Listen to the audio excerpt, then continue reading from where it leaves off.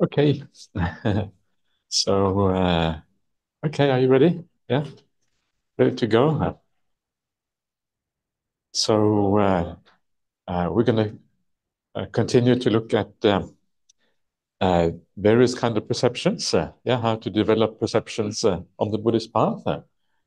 And um, the things that we looked at yesterday was basically how to overcome ill will and how to overcome harmfulness. Uh, yeah, so these are essentially about perceiving things in such a way that you can give rise to metta and compassion. That's what it is, what we did yesterday, what we looked at yesterday. And this is kind of interesting because um, sometimes we maybe not consider the idea of metta in this way.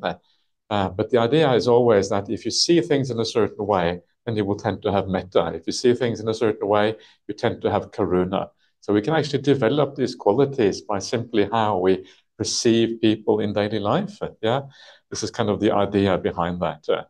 And uh, in the sutras, they actually talk about this. They talk about the uh, Avyapada Sanya and the Ahingsaka Sanya. These are perceptions. Avyapada is like non-ill will. Ahingsaka is non-harming. And so perceptions that relate to non-harming and to non-ill will. Uh, and these are essentially the same as the perceptions uh, of metta and the perceptions of karuna, because non-ill will is metta and non-harming is uh, basically karuna or compassion. There is a third one of these. These things always go together if you know know the second factor of the Noble Eightfold Path. And the third one is the Nekkhamma Sanya, the perception of uh, renouncing or giving up. Uh, and when we talk about renouncing, the Pali word nekkhamma, it refers largely to the idea of renouncing the world of the five senses. Yeah, and by renouncing, we don't mean that you become a monk or a nun straight away. It's not really what it means. What it means is that you understand the downside of that world. And then when you practice your meditation, you give up that world, at least temporarily. That's really what it means in this particular context. So it makes the practice of meditation possible. And this is why this Nekkhamma Sankappa is actually very uh, useful, or the Nekkhamma Sanya in this particular case is very useful. And I've already talked about this a little bit, and some of you were not so happy with that. Maybe you thought it was going a bit too far, but uh, it is important. Yeah, if you're going to go deeper on the path, you have to kind of uh, let go of the more superficial things, the things that are not so interesting or so profound, or they're actually outrightly dangerous. Uh, you have to give those things up, and then we get access to something deeper. And some of these perceptions about nekkhamma or giving up, they are talked about in the Potaliya Sutta, which I usually talk about on every retreat. I didn't quite finish the sutta yesterday. There was one more of these five ways yesterday, but I'm going to just skip the last one because we uh, did look at the most important things. Uh, and so I'm going to go straight to the idea of the Potaliya Sutta. So these are like broad-based ideas uh, regarding renunciation. Yeah, broad views of the five sense world, understanding the limitations of the five sense world. And when you understand the limitations of that world, uh, the mind automatically goes to deeper things. Uh. This is kind of the idea behind these contemplations. Uh. This is not to force the mind. This is not to kind of make the mind renounce or using force or anything like that. These are just natural contemplations that lead you in the right direction. This is the idea. Just like the contemplation of death leads you towards peace and leads you towards calm, yeah, without forcing yourself.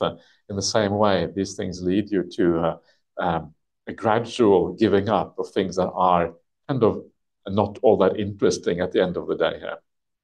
So Potaliya Sutta. So Potaliya, he is this man who uh, uh, thought that he had renounced the world. So he's wandering around, and as he's wandering around, he comes across the Buddha. The Buddha is in the forest. And when he sees the, the Buddha, he has a conversation with the Buddha. And the Buddha tells him that, well, actually, you think you have renounced, but actually, you probably haven't really renounced after all. Yeah, you're wandering around with a parasol in hand and wearing kind of fancy shoes, and you think you have renounced. Actually, you haven't really renounced. And he gets really upset with the Buddha. He doesn't like to be told that he hasn't renounced properly. Yeah, this is kind of a common human thing. Yeah, we have a certain pride very often, and if that pride is challenged, we don't really like that. Uh, this is what happens with Potaliya. Uh, and so they have this conversation, and then the Buddha explains to him what real renunciation means. And uh, this is what these seven similes are about. Uh, yeah, the, about the real renunciation. so how it comes about. Uh, but before I do that, did you have a nice meditation just before? Yeah, you had a good meditation? Okay, good. So Venerable uh, uh, that means you're hired. That's good. That's nice. No, it's nice that we can work a little bit together, actually, because that's the idea of the fourfold assemblies. That's great. Uh, Venerable Pun Sirivara, you know what that means? Uh, don't know what it means. Uh? Okay, Pun is like the uh, punya, yeah, so merit. Uh, and Siri is like splendor. It's like, you know, Sri Lanka is, is like the splendor of Lanka Island. Yeah, that's the idea. And Vara means like the best or most excellent. Uh, so it means the most excellent splendor of merit. What the name means. it's kind of nice, isn't it? That was was it your father who gave you that name? Was that given by your parents or Punsiri? Uh, what about the Vara? Where did it come from? You added that one. okay. You're the end there. Ah. Ah, okay. So, okay, so you added Vara to make it more suitable. Yeah. Yeah. Okay. okay. Okay, good. I'm glad. Okay, anyway, thank you so much for helping out. It was nice for me just to have a little bit of other things I needed to do this morning. That was great. So, um, okay, so let's um, carry on then with uh, Majjhima Nikaya 54, middle length saying 54, Potaliya Sutta. Are you sure you're ready for this? Uh, yeah? But those of you who have been on my retreats before, you know exactly what this is about. But for those of you who have not been here before, for you, it's going to be a shock to the system. Yeah, this is going to be, this is going to be wow. Okay, I didn't. Anyway, so, uh, but actually, it is not really dangerous. It's just a particular way of thinking about things. That's all. And so let's just get started. So this is the Buddha speaking to Potaliya. This is what he says. Householder, Suppose a dog, weak with hunger, was hanging around a butcher's shop. Then a deaf butcher or their apprentice would toss them a skeleton scraped clean of flesh and smeared in blood. What do you think, householder? Knowing on such a fleshless skeleton, would that dog still get rid of its hunger? No, sir. Why not? Because that skeleton is scraped clean of flesh and smeared in blood. That dog will eventually get weary and frustrated. Mm. In the same way, a noble disciple reflects uh, with the simile of a skeleton. The Buddha said that sensual pleasures, uh, or the, sen the sensory realm, if you like, uh, give little gratification and much suffering and distress, uh, and they are all the more full of drawbacks. Uh. Yeah, all the more full of, and then it kind of carries on a little bit after that. Uh. So let's have a look at this again. Yeah. So you have a dog, weak with hunger, hanging around the butcher shop. So that dog, who is that? That's us, right? We are the dogs. And, and we are weak with hunger because uh, we are always craving. Craving, the hunger here is craving. And craving makes you kind of weak, yeah, because you're always kind of running around. You are at the beg and mercy of the craving. You're a slave to that craving. And so you kind of have a weakness because of the mind. The mind that is full of desire is a weak kind of mind. The mind that is strong is the one that gets rid of desire, that becomes very firm and established in samadhi. That's a strong kind of mind. And so the, it's weak, yeah, and it's hanging around the butcher shop. That's like hanging around the shopping mall or something like that, yeah. Looking out for all the sensual pleasures of the world, yeah, hanging around and seeing what's going to happen. And then the deft butcher or the apprentice, uh, well, this is like Mara. Yeah, Mara, sometimes they will give you a little thing, little thing to kind of keep you happy. Yeah, you kind of throw you something, uh, and then you, the dog gets a bone, but that bone is completely scraped clean uh, because a butcher doesn't give away real meat to a dog, right? It only gives it bones.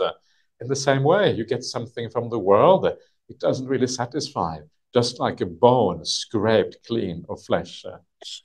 So, of course, gnawing on such a fleshless skeleton, would that dog still get rid of its hunger? No, it never gets rid, rid of its hunger. In the same way, we don't really get rid of our hunger by having occasionally sensual pleasures that kind of come. Yeah, so you get that sensual pleasures, it kind of you feel satisfied for a short time, and then the desire re-arises again. And this is kind of very interesting because there is a certain psychology behind this. There is a reason why things are in this way. But before I get to the reasons why it is like this, uh, let's just flesh out this simile a little bit. Uh, because uh, this dog, yeah, what happens to this dog? It goes to this kind of uh, butcher. the butcher gives it a scraped piece of bone. Yeah, and you can imagine the dog is very happy. It smells the blood. Yeah, the, it is smeared with blood. It smells the blood. It gnaws this kind of thing, and it kind of gets a degree of satisfaction yeah, because it kind of tastes the blood and this kind of things. But because it tastes the blood, but there is no real sustenance. There's no sustenance because there is no meat. The craving becomes even stronger. Yeah, so the dog gets even more desperate. And then after he gets even more desperate, the dog runs off to the next butcher shop. The next butcher is just as stingy as the previous one because butchers are, I guess butchers are they? Maybe they're particularly stingy, I'm not sure. But usually they don't want to give away good meat to a dog. Is that the same thing with butchers in, in Malaysia? They don't want to give away good meat to dogs. Oh. There's no dogs in the shopping mall. That what you're saying? Yeah. Yeah. Okay. Okay. All right. So that's okay. So it doesn't doesn't apply to Malaysia. That's what you're saying. Okay. Fair enough. so then the dog goes to the next one, and the same thing happens. Uh, yeah, the same thing uh, over again. Again, the dog does only the taste of blood and runs on to the next butcher shop, and in this way it runs on and on and on and on. Uh. And what happens eventually? Eventually, while it is running in the middle of this pursuit, where it never finds any satisfaction, in the middle of this, one day it just dies. But when it dies, it takes that craving, it takes that desire with it into the next life. And in the next life, it gets reborn as a puppy. Yeah. Why is that? Because once you are born as a dog, you tend to become a dog again and again and again. You are stuck in the dog realm. Yeah. Then when you get reborn as a puppy, where does your mummy take you? Your mommy takes you to the butcher shop. Uh, yeah. And now little puppy and mother standing out the butcher trying to look cute, yeah, trying to kind of still only gets that bone. Uh. And again, butcher shop to butcher shop, dies again in the middle of the pursuit, uh, reborn as a puppy again. Uh, and on it goes, on and on and on like this. Uh. So what does that sound like? Does it sound a bit desperate? It sounds quite terrible, doesn't it? It sounds kind of awful and you never really learn. You never learn your lesson.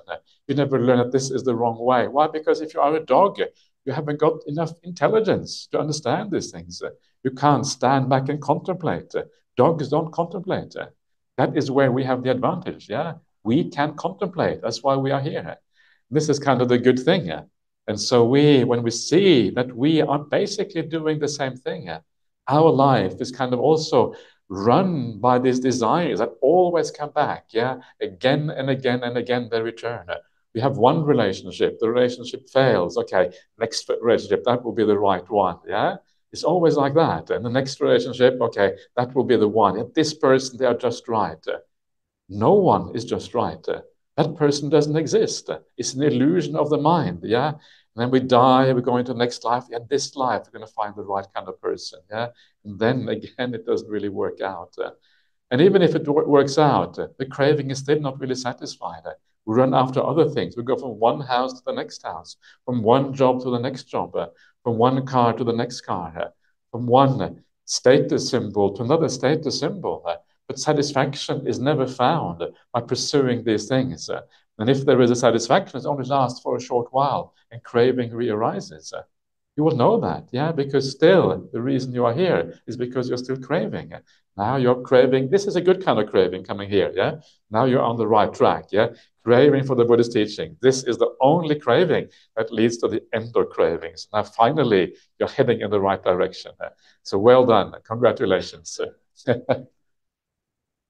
so this is uh, life for you, yeah? And life kind of is very stark. We are this dog, always running on, always trying something else, never really finding satisfaction.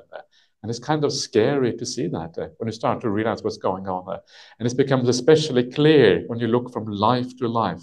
We're doing the same thing again and again and again, never finding the contentment that we really want to find. Yeah, desire is telling us if you pursue this desire and you get the result, you will be content. But are you content? No, never really content, or content for a short time. Yeah, and then the desire re- rearises again.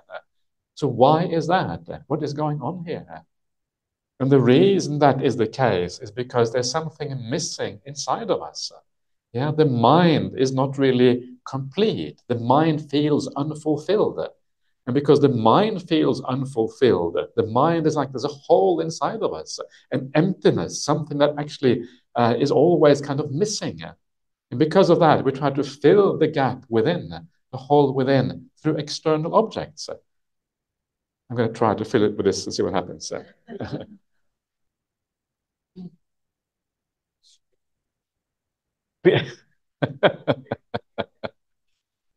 it's, it's, it's, deluding, isn't it? It's a very nice drink, so it kind of feels like this is going to be satisfying. Yeah. But then I have to have another one, you see? This is the problem here.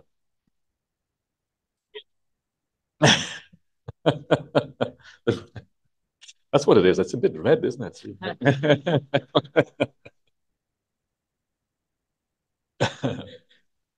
anyway, just kind of practicing, to testing out the reality of these things.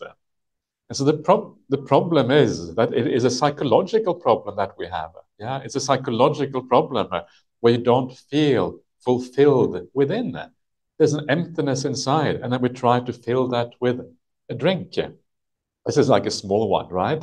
We try to fill it through all the things in our life. But because it is a psychological problem, external things can never really fill that hole inside. The only way to fill the hole inside is to do something with our mind. Yeah, we have to create a mind that is content, that has happiness, that has understanding, that has the qualities whereby craving is no longer required. That is kind of the critical thing. Because if you feel complete inside, then you don't crave for things outside anymore because you don't need those things outside. That is, in a sense, what the spiritual path is about. You're looking for the fulfilling, the uh, filling of that hole inside in the right kind of way, which is by building up the spiritual qualities.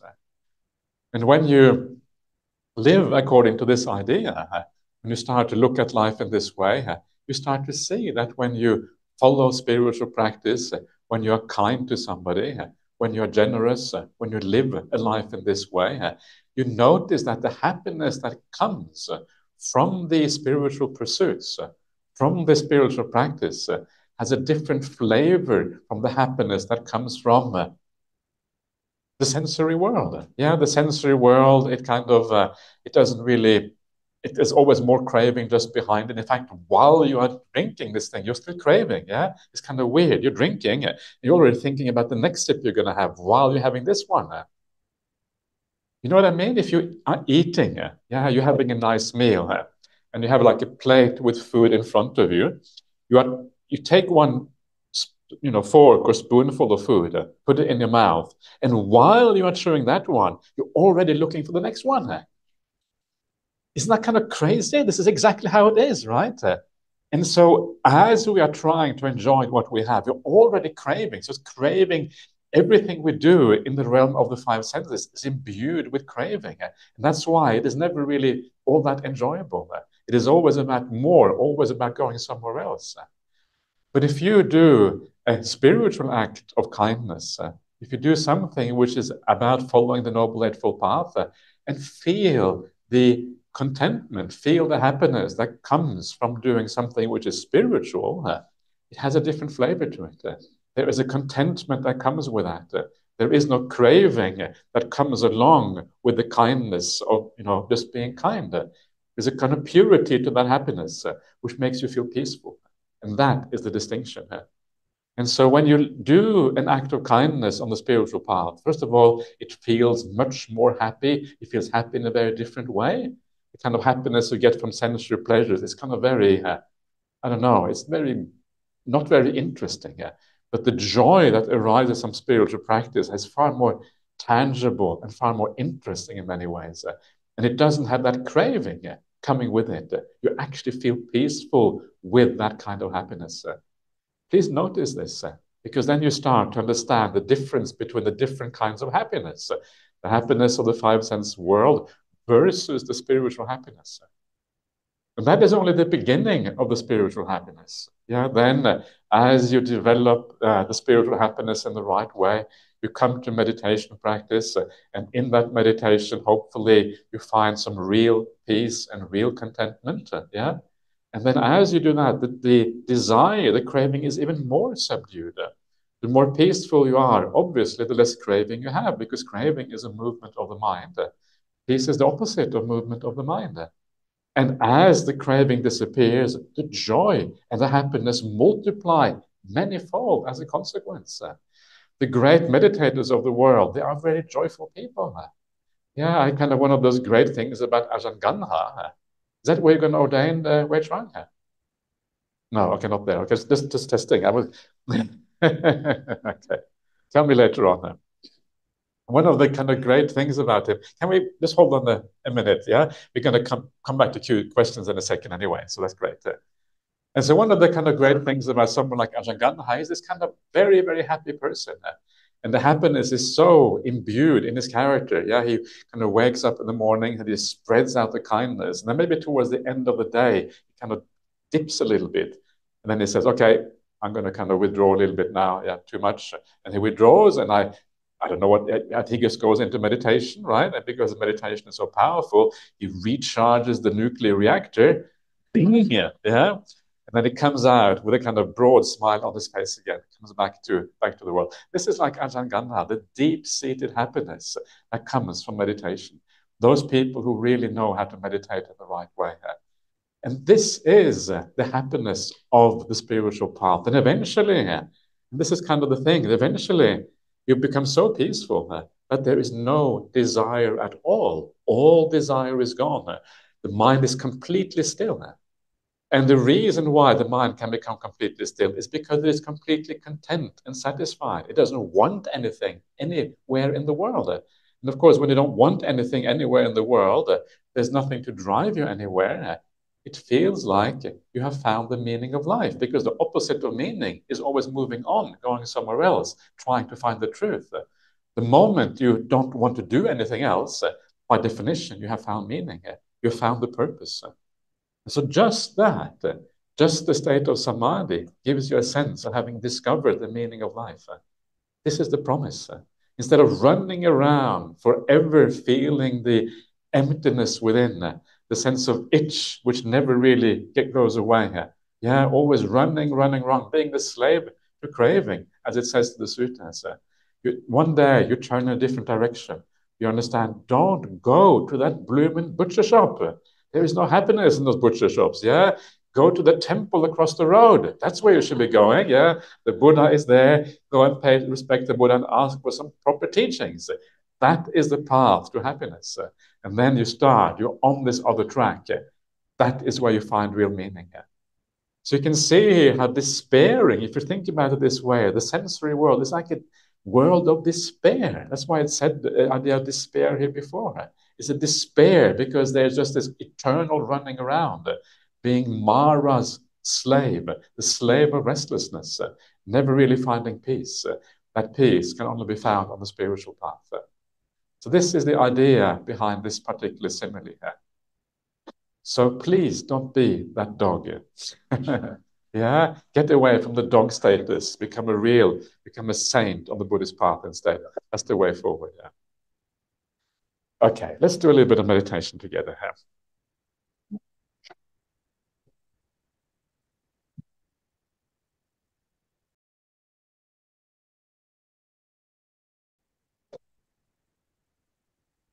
Um, let's take some questions and comments. Um,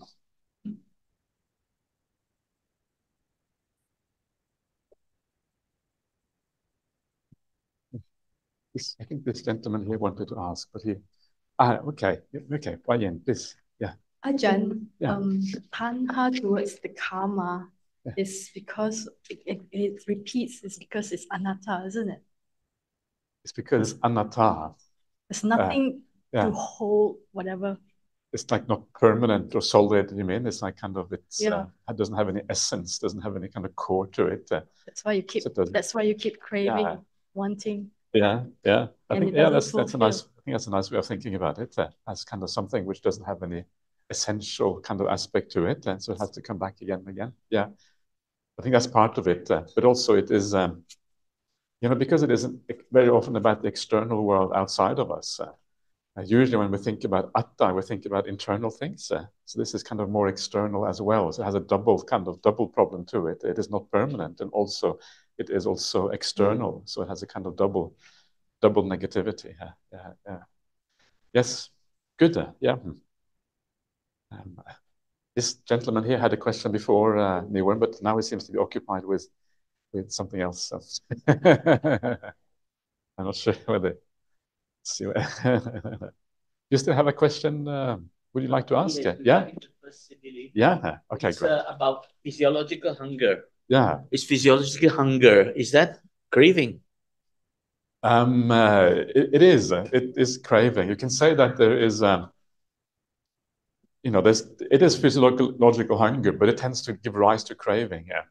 And so there's two kinds of issues going on there, and that is that for on the one hand, if you let's say you are fully enlightened, you still need food to survive as an arahant, right? Uh, so you take that food, but that food is not kind that uh, desire you have as an arahant. Uh, is not the desire for actual sensual pleasure. It's just a kind of desire to keep the body going. It's, that's what you call the physiological aspect of things. Uh, everyone has that, whether you're enlightened or not. Uh, but usually, for most beings, the hunger goes together with desire. Yeah, it goes to, together with sensual desires. The hunger gives rise to desire for all kind of foods. And if you're hungry, you go past the window of a shop. You know, you look at the food, and all sorts of craving arises because of that. There's like a double thing, two things going on at the same time. I think. Yeah. So. Uh, is that what you is that what you meant or yeah I think the Yeah. simile is not very precise about Yeah. real craving. It's just only mentioning. the- right It's not like the dog is going for Yeah. what. The Yeah. dog is going for what it needed. it needs yeah exactly yeah so I think but I think the thing is that any simile has certain limitations you know uh, and I think that we should never take the similes too far. They only go to some extent uh, they're never going to be 100% precise uh, so we have some degree of interpretation is required in these cases. But uh, you're right. I think you have a it's a good point actually. Yeah. So uh, yes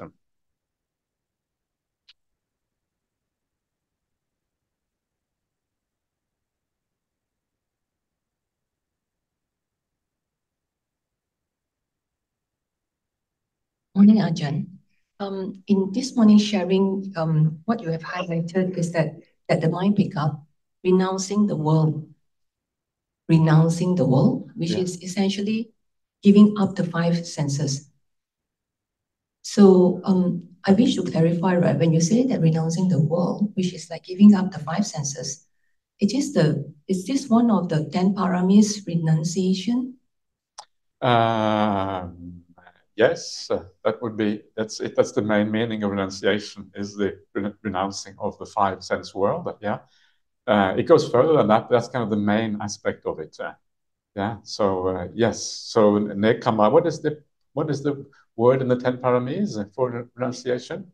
Is it nekkhamma? Yeah. Okay. I don't even know the ten paramis because it's common. It's commentarial. I'm not so interested in those things. Uh, okay. but uh, okay, good. So thank you. I would just got to confirm this nekkhamma. So that would be the same thing. It's the opposite of sensuality. In fact, nekkhamma is uh, yeah, the the compound comes from ni, which is like often a negative, and then kama, which is a desire. So it's anti-desire in a sense. So it means renouncing that particular world of the five senses. Kam, desire here, kama means specifically the five sense world. That's actually what it refers to quite specifically. So that's exactly what it means. Uh, but it can be taken further as well. Yeah, on the Buddhist path, eventually we renounce everything. We renounce all interest in the five khandhas. Uh, and the five khandhas are the five aspects of personality that goes beyond just sensuality. Yeah. So ultimately, it's a very profound, very profound thing. Yeah. So yes, so that's kind of weird, right? That's, that's a very good point you're having there. So thank you for bringing that up because just before, yeah, yesterday, we were looking at the Buddha or the Buddha to be, and he was practicing and he was still involved in the five sense world, right? He was wife and children and all these belongings. Uh, if you go to the Dvedhavitakka Sutta, he talks about having desire for the sensory world. Yeah, all, all of these kind of things. And there, a thought of desire would arise, and then he will deal with that in a certain way. So the Buddha to be, even though he's supposed to practice the 10 paramis for four incalculable eons, uh, still hasn't got there. He's still kind of working on it. Uh, that's a bit strange, isn't it? Uh? So what, what has he been doing all that time? Uh? should be, but, so the thing is that the whole thing doesn't hold together very well. This idea of, you know, being a bodhisattva and, and carrying on for that long doesn't actually fit with what we see in the sutras. Uh, and so that's kind of problematic. Yeah. Yeah.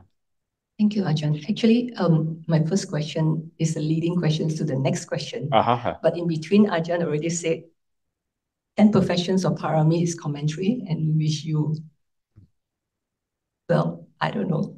But anyway, I still wish to ask this second questions, right? We leave it to whatever conditions, yeah. if conditions permits. Well, this mind has the interest about 10 parami because it feels that that set the conditions, one of the tools to conditions the mind into purifying, mm. you know, what you will do good and purifications of the mind. Mm. So its second question is, wish that whether Ajahn could briefly go through the 10 paramis so that we can imprint this mind. But Ajahn already said yeah. something towards yeah. the other way around. Yeah. So I just leave it as such. Thank you. Yeah. No, I, yeah, the thing is that uh, the whole idea of the 10 paramis, it uh, comes from the idea of the bodhisattva path. Yeah. The idea that uh, a certain person makes a, a, um, a vow under a previous Buddha and then practices the 10 paramis for a long, long time. And this is a later development in Buddhism. And in the sutras, you don't actually find the bodhisattva path. The Buddha doesn't say we should become bodhisattvas. The Buddha says, here is the path that leads to awakening, practice it. He doesn't say you should all become Buddhas. You get too many Buddhas otherwise. too crowded. Yeah, you can only have one Buddha at a time. It means it never actually, never, nothing ever happens really. Uh, and so that is kind of a misunderstanding. I don't think there is a path to becoming a Buddha. There is no clear path to that. Uh, if there was, maybe the Buddha would have taught it. He didn't. Uh, so who are the people who taught the Bodhisattva path if it wasn't the Buddha? Who has the authority to teach that path?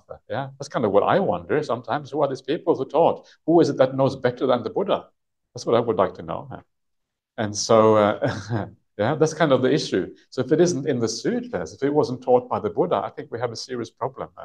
And so I would say this is kind of one of the reasons why we make this distinction between the earliest texts and later texts. And that's why the distinction is quite important, uh, because it allows us to go back and focus on what the Buddha actually taught. Uh, the Buddha is the teacher. The Buddha, like, what gives rise to everything. Uh, that's why we have the Buddha Buddhanussati, the recollection of the Buddha and all of these kind of things, because that is the starting point of everything.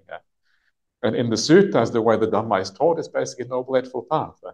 And if you practice Noble Eightfold Path, you will be, that's kind of the main thing. Uh, that doesn't mean that the uh, things you see in the 10 paramis yeah, are not, can be useful. Like one of them is the patience, I think, is one of those 10 paramis. Uh. of course, patience is good to be patient, yeah uh, it helps to kind of practice virtue and things. Uh, so these things are still useful, but the main focus should be on the Noble Eightfold Path. Yes, please. Okay, one last one. Okay. Um, when I, sorry, I don't know how to phrase it, but um, I've been practicing meditation for some years. Mm. And when the mind is good, uh, it can understand all these things you're saying in a good light. You know, yeah. like you keep warning us that it looks like a danger and all that. So the mind went, I mean, I went through a bad period in December uh, where I don't know whether it's hormonal or whatever, but, uh, and also many things happened, uh, you know, which uh, threw up uh, uh, anxiety, like a very strong anxiety, yeah. uh, like depression, you know. So in that period, I noticed the mind, I was still noticing the mind, you know, I was been noticing the mind all the time. Uh, the mind just cannot have no wisdom at all. Like yeah. sees all this in really negative light. I have Kalyana telling me, reminding me, but I just noticed that because the contrast is so great, and because now I'm back, so-called I am back. Yeah. yeah. Uh, you know, and it's so joyful to be here and listening Dharma and all that, you know, so the mind become bright again. So you, when everything you say makes complete sense, you know, even before this already, uh, Hmm. when the mind recover, it already have. So um, my question is like, when I was in that period, like, what could I have done, or Hmm. if I go into that again, when really Yeah. things challenge you, like you know, family Yeah. is ill, you know, I mean, there are things that are very strong. You know, like you said, we are super tanker. The mind is really a super tanker, like so things which really um you are very attached to, and you don't have the wisdom. You know, Yeah. like you said, uh, you know, you meditate and get the joy. Actually, in that period, I could still meditate. Yeah. Um, it was joyful, but you can't sit all day. You know, like so when I got up, Yeah. then the feeling comes back. I mean, all the reality sinks in. Yeah, yeah, You know, the attachment comes back and all that. So how do you yeah. do? So, uh, I, I, yeah, no, I think this is something everyone goes through. Yeah, when you go through a difficult time, then you lose, as you say, you lose your wisdom. Everything becomes kind of difficult, uh, but you don't lose your wisdom completely. That's the point. There's always a little bit left, uh, and uh, you have to hold on to that little, little thing that is left. That's what you have to hold on to. uh. And sometimes that is just some very simple things like this too will pass. Yeah, kind of there's a Brahm teaching. This too will pass. It's a very simple teaching, uh, but it's also very true. uh. And you know that, uh, you know, this is why people sometimes commit suicide because they forget this too will pass. They think it will last forever. Uh, And this is this delusion of the self again, the delusion that whatever we have now is kind of will carry on into the future, but it won't. Uh, so just remember some very simple things like that. Uh, remember, remember that uh, just because you're feeling terrible, don't become a bad person because of that. Yeah, I'm sure you probably didn't become a bad person, right? Uh, yeah. So you remember these things. That's already you have a lot of wisdom there underlying, helping you through. So you lose the clarity, but you still remember some of the foundational things. Uh, and if you remember those foundational things, then that degree of kindness that you have, that degree of uh, uprightness that you have, uh, together with the ability to wait, because you know this too will pass. Yeah, when those things come together, actually, it will eventually. You will come out of it uh, eventually, uh, because the it is the nature of things that for good people the future is always brighter. This is one of those beautiful ideas. Yeah, for good people the future is brighter. So just remember goodness, uh, and then eventually you come out of it again. And this is exactly what I was saying yesterday. Were you at the talk yesterday? Yeah. This is kind of the idea about the world. Yeah, the future looks really bad. But remember, the future is always bright for good people. It doesn't matter what happens in the world. Yeah, the world is actually quite irrelevant. uh. That's kind of a beautiful idea because it means that, uh, you know, we can kind of just, uh, okay, war in Ukraine, it's bad, uh, but I can deal with it. Yeah, that's kind of the idea. So Ajahn, in, in that light, uh, would, would it mean that we place a little bit of that faith and that, that kind of confidence and that in the brightness of things and all that? Is that part of the right view that you're talking about? That that faith Yeah, side. So, I- mean, you, you it doesn't make sense. The world doesn't make sense, but when we say, okay, I, Yeah. I have that that that kind of faith. That, absolutely, and part of right view. Yeah, part of right view, part of you have that faith, the confidence, and sometimes you also know it to some extent for yourself, right? Uh, because you know that when you live well, when you do the right thing, you feel good about yourself. So it's not just confidence and faith; it's also kind of personal experience at the same time. So yeah, are people okay with the? Is, it too cold? Are you all right? uh? Is it a bit too cold? uh? No, you're okay. Are you sure? Yeah. Why you are you? Are you okay? Yeah, you, I was con- worried. Worried that you're fine now. Okay, I'm getting worried about you. You're gonna look like it. You look like you're ready for the South Pole expedition. Mini Scandinavia, yeah. Where, where is the snow? We're just waiting for the snow to come. Yeah, yeah. And we had someone coughing over here as well. Who was the person coughing? Are you okay? You all right? Are you sure? Yeah, yeah. Okay. All right. Okay, okay. Try to kind of avoid the aircon. Go can maybe go in a seat where the aircon doesn't blow straight onto you. See what happens. Only one unit. Yeah. Okay. Okay. Good. I love this. I think it's wow. This is nice. anyway. Yeah. okay. Mhm.